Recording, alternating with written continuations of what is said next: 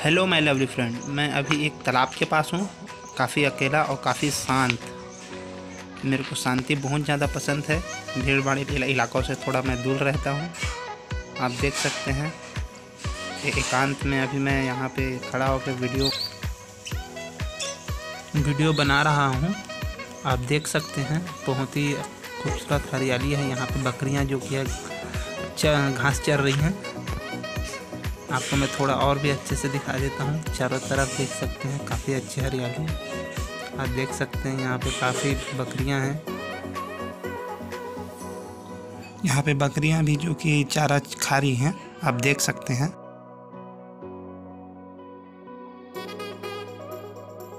अब हम चल पड़े गाँव की ओर, गाड़ी में। आप देख सकते आप देख सकते हैं कि हम लोग कच्ची सड़क के माध्यम से जा रहे हैं।